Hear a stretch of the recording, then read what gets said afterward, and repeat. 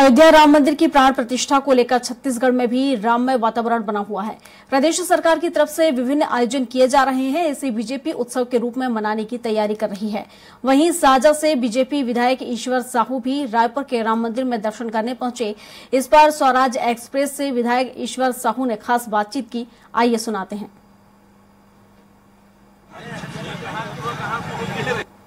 छत्तीसगढ़ में बीजेपी की सरकार बन चुकी है और जिस तरह से राम अयोध्या में राम मंदिर की प्राण प्रतिष्ठा की जा रही है राममय वातावरण है इसी को लेकर हमारे साथ आ, साजा के विधायक है ईश्वर साहू जी इनसे सीधा चर्चा करेंगे जानेंगे। अभी बहुत सारे आयोजन हो रहे हैं सरकार की ओर से कैसा लग रहा है? और पूरा राममय वातावरण बना दिया आप लोगों ने। बहुत संघर्ष के बाद हमारे हिंदुस्तान में हमारे राम भगवान का मंदिर का निर्माण हुआ है।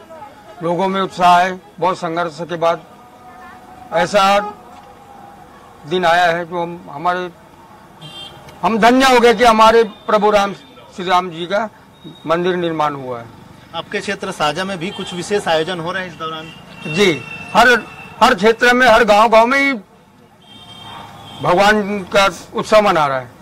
बहुत सारे टारगेट भी दिए गए हैं मतलब इनके ओर से बीजेपी की ओर से कि हर घरों में दिए जलवाना है या बहुत सारे कार्यक्रम होना है। तो आपके क्षेत्र में किस किस तरह के कार्यक्रम का आयोजन हाँ? ऐसी है भव्य शोभा यात्रा निकालेंगे कलश यात्रा निकालेंगे दिवाली मना रहे हैं। एक तरफ़ की दिवाली मना रहे लोग।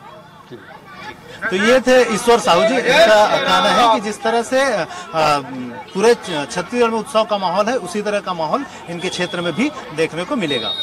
कैमरा पर्सन भूपेंद्र के साथ स्वराज एक्सप्रेस के लिए रायपुर से दिलीप साहब।